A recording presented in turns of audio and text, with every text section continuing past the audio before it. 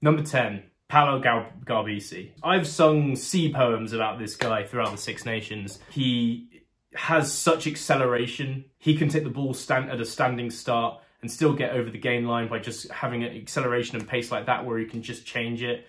I think he had a real good boss and organisation over the Italian attack as well. We saw it being a lot more organised than it has been in years past. Granted, he had a, a, bit of an armchair ride with the two centres that he had. And some of his kicking out of hand was sensational. Some of his lines that he chose and decision making in terms of where to go with passing and changing the point of attack. Really exciting stuff. And again, another young guy that has got a long career ahead of him.